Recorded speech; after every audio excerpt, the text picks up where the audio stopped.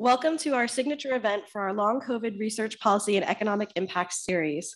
My name is Emily Taylor. I'm the Vice President of Advocacy and Engagement for the Solve Long COVID Initiative and Solve ME.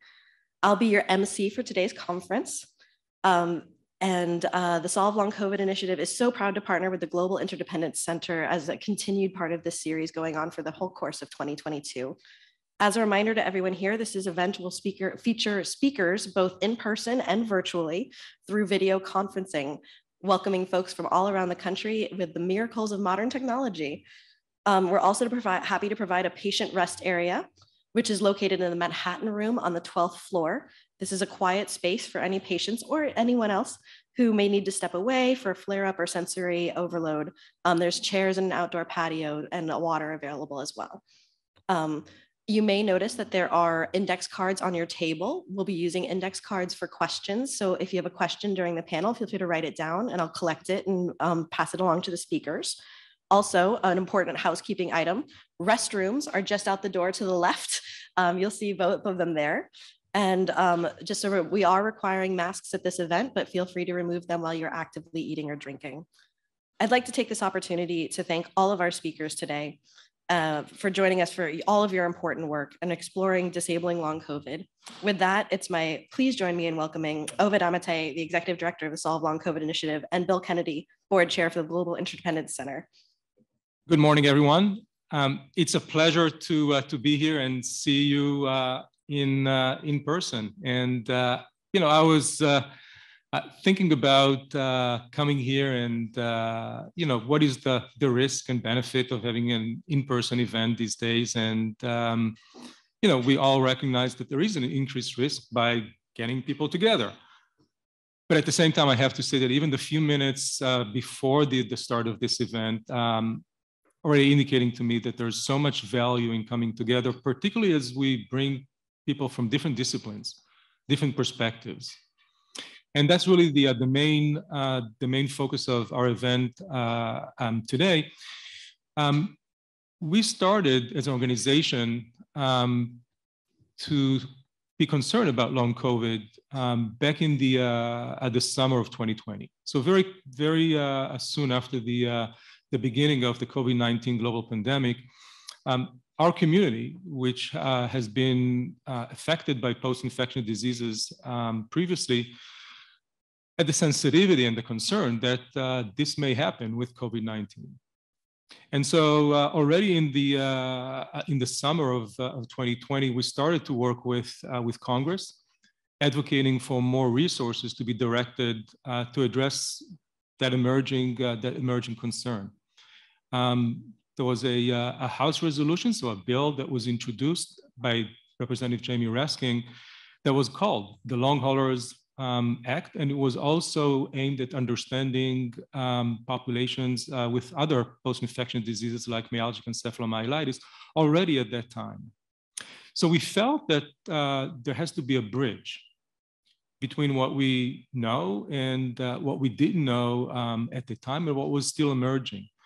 And we felt that our organization uh, was compelled to be this bridge because of what we know, uh, what we know from the past, and what we could see uh, unfolding uh, in front of us. I got to, uh, uh, to know uh, the GIC through David Kotok. Um, so about a year ago, when we started to see some of the, the numbers, or we started to be concerned about the number of people who are not getting back to where they were before they, they had um, the, the COVID-19 infection, um, I was very interested to see if, if we can get a sense of what, uh, what the impact may be um, from, a, from an economical perspective. Obviously, there's a lot of personal suffering, um, but what do we, uh, what we know about the impact of that on, on the society as a whole?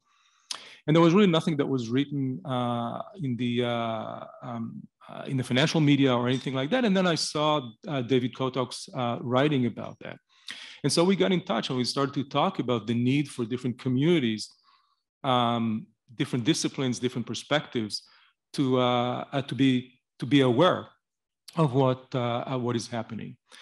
and that's how we uh, how we got together, and uh, we felt that uh, the two organizations, uh, the GIC and uh, Bill, thank you for being a partner in this, um, and and Solve ME, could really uh, serve, um, but we really serve the um, the community by by bringing people together to to have a greater awareness and uh, and really break those uh, those silos, those uh, um, those ways that we tend to uh, to see uh, a challenge from only from uh, from one perspective. So we we have very different communities that or constituents that we had in the past, and this is really an opportunity to to bridge that. So I'm delighted that we're able to to do that.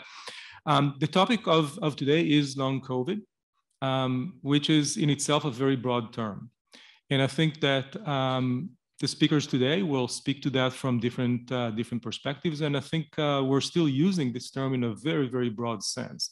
And it can encompass anything from um, people who are severely uh, affected uh, during their acute uh, disease, they were hospitalized, and they are recovering from, uh, from, from that. and that may, may take a long time. Um, we're talking about uh, uh, people who had very mild symptoms initially, but they continue to uh, um, uh, to struggle. So it's a very broad term.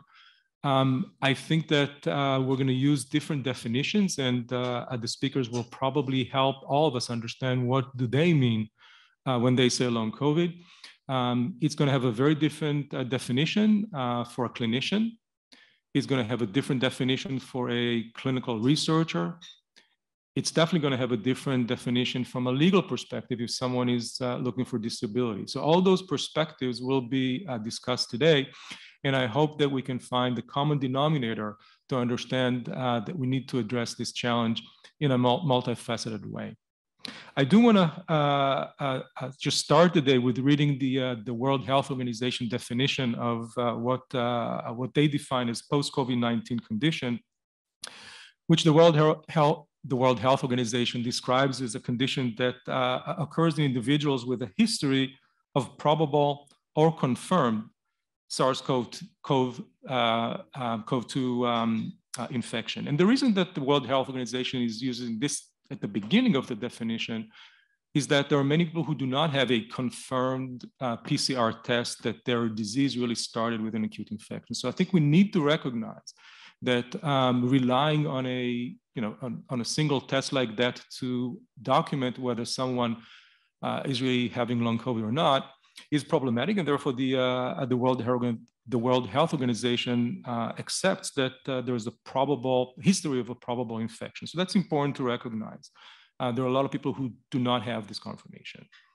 Um, and then they go on to say that it usually takes uh, three months from the onset of COVID-19, and the symptoms can last uh, for at least two months. Um, and can be, uh, and they cannot be explained by other diagnoses. So that's an, another important aspect of, of this definition. Uh, people who have uh, now a, a, lung injury or kidney injury that is documented, well, that explains some of the symptoms. That is really not what uh, World Health Organization defines as uh, post-COVID. This is a different, uh, this is a different disease. And of course, that's the challenge. We don't have a different uh, diagnosis. And so um, what is it? So the definition says that the common symptoms are fatigue, that's the number one uh, uh, symptom that people talk about, shortness of breath, and cognitive dysfunction, which a lot of people uh, in real life describe as brain fog. And, uh, but there can also be other, um, other symptoms, and generally uh, um, they have an impact on some on someone's uh, everyday functioning. So that's an important aspect of long COVID. It does have a great impact on how people go on with their normal life. The symptoms may, uh, may be new onset following the initial infection, um, or they could be, uh, um, um, uh, or, or, they could be a, a, continuation of, of the acute infection.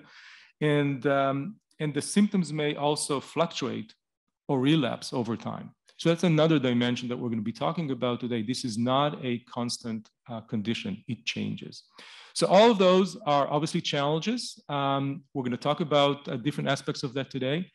Um, but before uh, we start the program, I wanted uh, uh really to, uh, to thank all of the participants, uh, the speakers, and also special thank you um, to our um, sponsors, our tech sponsors, Responsum Health, uh, who enables us to, uh, to have uh, the event be streamed so that um, people with long COVID or other post-infection diseases can join us remotely. So we appreciate your support. And um, um, and I also uh, uh, wanted to, uh, to really thank the GIC uh, for this partnership in, uh, in having this event. I uh, wish all of you a, a, productive day. And Bill, if I may invite you to make your comments. Thank you very much. Well, good morning and welcome to everyone here at the New York Athletic Club. And for all of the, you joining virtually, we welcome you uh, as well. For 46 years, the Global Interdependence Center, which is also known as the GIC, has served as a global leader influencing policies for the greater good. And this has come together through cooperative engagement with decision makers and diverse thought leaders, not just in the US, but around the world. Our mission at GIC is to explore globally interdependent issues that impact not just the world economies, but also our quality of life. And we can't think of a more important issue than long COVID and how that is going to impact economies and the quality of life going forward. Our organization has forged over nearly five decades uh, very strong relationships with policymakers, central bankers, industry leaders, people in academia. And we do so to expand awareness and advance our shared interest and to promote social stewardship. And uh, we always do this through a neutral, nonpartisan forum, very much like our uh, event here today. Now, since the onset of the pandemic in 2020, the GIC has made a bit of a pivot uh, where we have expanded our network to include scientists, uh, epidemiologists, uh, biologists, healthcare workers, and health, uh, public health experts to help our members and the general public gain a better understanding of all of the interdependent impacts and influences that are coming from the pandemic and SARS-CoV-2. So on behalf of the GIC board, I want to thank you, Oved, and your staff for the partnership and collaboration on uh, bringing this together. And I'd also like to thank uh, our GIC board member, uh, David Kotok, who Oved referenced. Uh, David will be moderating a panel later today, but uh, through David and the Solve Long COVID initiative, we have received very generous financial support to host a, a year-long uh, long COVID program series, of which uh, today's program and today's conference is one part. So our objective today is to explore long COVID's impact from multiple perspectives, as Oved talked about. We're gonna talk about scientific research, public health policy, the effect on insurers and pharmaceutical firms, the economic and labor market challenges, and probably the most important out of all of this is the human experience and how this is going to impact potentially the millions of people here in the US and, and around the world. So here's our promise for today's event. Today, you are going to learn something new that you have, have not known previously about long COVID.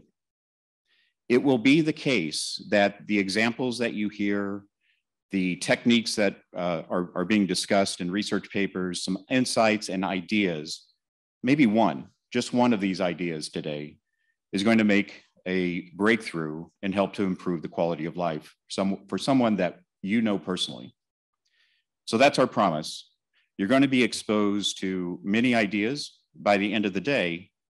And our hope is that you'll take these back, this one idea back uh, to your family, to your business, to your community, to your policymakers to try to make a difference.